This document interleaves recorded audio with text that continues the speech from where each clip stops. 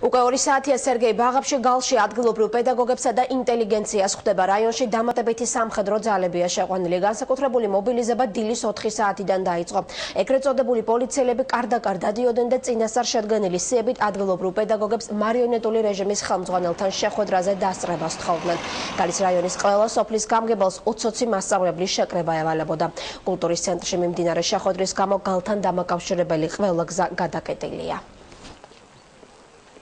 სოფლებიდან იძულებით მოიყვანეს მოსახლეობა, აქვე არიან რუსი ჟურნალისტები, იმის დადასტურებლად, რომ ქალა გალის და გალის რაიონის მოსახლეობა მხარს უჭერს არჩევნებში ბაგაფშის ხელისუფლებას, მარიონეტულ ხელისუფლებას. სინამდვილეში მოსახლეობის 1%-ს არ აქვს აფხაზური პასპორტი აღებული.